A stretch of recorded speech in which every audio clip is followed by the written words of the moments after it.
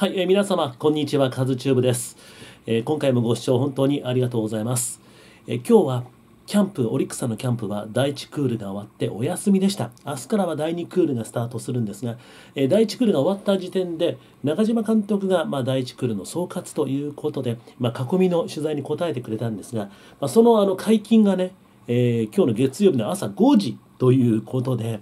えまあ、あの早い段階のネットニュースなんかにはもろもろ載っていましたが、えー、まとめて、えー、大前がお伝えしてまいります。えー、まあ、総じて、まあ、ソルティーな感じの囲み取材ではありましたけども、まあ、あの、もういつも思うんだけどさ、あの、よくソルティーとかさ、言われるけど、きっとね、中島監督の、まあ、キャッチャー出身でしょ構えたところにね、僕らの質問のボールがちゃんといってないんだよ。ね。えー、監督が要求する球種であるとかね コースであるところにちゃんと僕らの質問をが投げ込まれていないからやっぱりダメなんだろうなと思って僕ら反省しないといけませんね。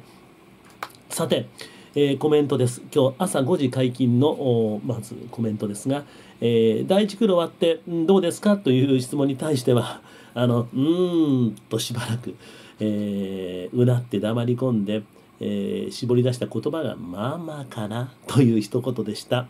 でまあこの第1クールに関しては強度あの、まあ、練習の強さね強度に関してはまあ大したことないんでと。いうこと、えー、次に向けての、まあ、4日目5日目という第2クール、えー、に向けてのねちょっとこう詰め込んでいくこともあるんでそこに向けての準備期間だったんでと、えー、いうことですね。え、まあこれでこの程度で怪我をしたらびっくりするわと。えー、いうことで、えー、まあそんな感じかな。うん。であの新人なんかのバッティングなんかもご覧になっていましたけどもどんな感じでしたかという質問に対しては今からそんなこと言ってどうするのという感じの答えが返ってきました。まあ、確かにね。でこの WBC 組のピッチャー3人について聞かれてまあ山本と宮城に関してはまあまあねそこそこしっかりと調整できてるんだろうけど、まあ、宇田川選手に対してのコメントが、まあ、今日新聞等にも新聞かな？あのネットニュースなんかにも載っていましたがあの、まあ、ボールの問題じゃないんじゃないか、まあ、ボールが合わないくてねあのまっすぐがいかないという話も本人していましたがボール自体の問題じゃなくて単なる調整不足じゃないというふうな監督おっしゃってました。まあ、あの出来上がってるという感じには見えないし見た目もそうだし肩の状態とかそういう問題じゃなくてまああの明らかに調整不足じゃないいかなということで厳しい見方をされてましたね。まあ、どういうオフを過ごしてきたんだろうかと思うということ。で、今自分がどうなってるか自分の立ち位置っていうのはちゃんと分かってるのかなということで、今の状態のままだったらもう使い道がないよ。使えるもんじゃないよということ。まあ、その辺がちょっとオフの間の甘さがあったんじゃないかなという厳しいコメントがありました。まあ、それがまあ今日、今朝ニュースにも載ってましたよね。でキャッチの森選手に関しては、まあ、いろんなピッチャーのボールを受けてますねという質問に対しては、まあ、それはもうあのそれをやらなきゃということで、まあ、キャッチャーとして一番ね特に新しいチームに入ってきた部分で不安なところでもあるんで、まあ、そこはしっかりやっていかないと仕事ですからというふうに、えおっしゃっておりました。であのフォーム改造にこう取り組む村西投手腕の位置を下げてアンダースローということに今今取り組んでるんですけどもともと横でねで下の方がしっくりくるという話を聞いたんでそれじゃやってみたらということで去年の秋進めたそうなんですが、まあ、あの高さに関してはまだ一番このしっくりくるところをね、えー、探してくるんでちょっとまだ変動があるかもしれないけれどもということ、まあ、それはもう本人の感覚なんで、えー、そこを早く見つけてほしいみたいな形で話をされてました。まあ、あの根本的にはねあの大きな変化ないと思うんだけどもあとはその腕の位置というところで、まあ、本人の感覚に任せたいということで確かにあの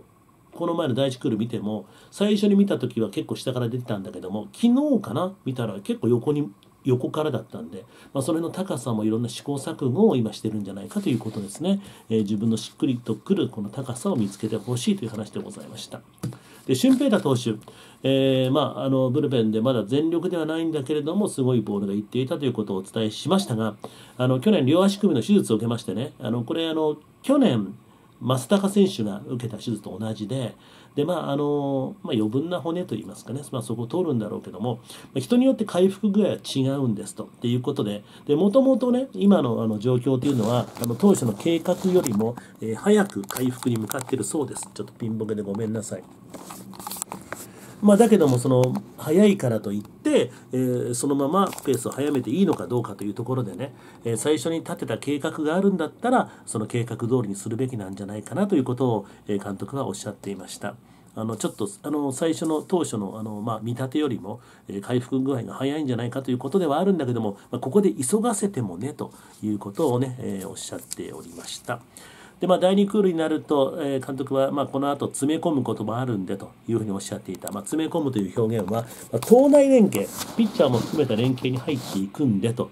いうことで、まあ、より実践的な練習が、えー増えてくるんじゃないかということでしたね。でまあ非常にあのオリックスの場合はあの効率のいい練習ということをまあテーマにもされてるんだけども、えー、まあ次から次へとまあ練習に移っていく中で、まあ、待ち時間もなくてすぐ入れたら戸惑も戸惑いもないだろうし練習にもまあ集中できるんじゃないかというところにまあ重きを置いているということですね。でまあ全体練習もあるんだけども、えーまあ、個人練習に関してはもう本当にあの個人自分たちが一番何をやらないといけないかっていうのは本人が一番分かってるはずなんで、まあ、そこをね各個人が練習をして、まあ、あのやらされる練習よりも自分たちでやる練習の方が絶対身につくんで、まあ、そこはね、えー、各選手たちのもう自分でやらないとしょうがないんで、まあ、その実践に任せていきたいなという話をされていました。まあ、大体こんな感じのコメントがあの昨日の、ま総括ではありました。まあ、一部ねその宇田川投手に対する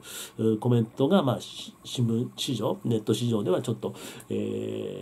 ー、ね賑わせておりましたけどもそんな感じかな。えー、というわけで、まあ、次からまあ第2クール、明日から入っていくわけなんだけども、第2クールは、えー、2日間という短いショートクールになります。で、今降ってる雨なんですよ。今日雨なんですね。で、午後から雨が降ってきて、この雨がまあ午前中まで残るんだろうけどもさあ、午後から、えー、グラウンド使えるのかどうかということにもなってきますし、あるいはもっと早く、予報よりも早く雨が止んで、早い段階から、まあ、えー、実際グラウンド使えるかどうかによってまたちょっとメニューも変わってくるんだろうけれども、えー、詰め込むこともあるんでというふうに監督が表現した第2クールがいよいよ明日からスタートします。えー、ちょっとピンボケでごめんなさい。ちょっと最近調子悪いんだね。えー、というわけで今回も最後までご視聴本当にありがとうございました。ダマバージョン、え、中島監督の昨日の第1クール総括を詳しくお伝えしました。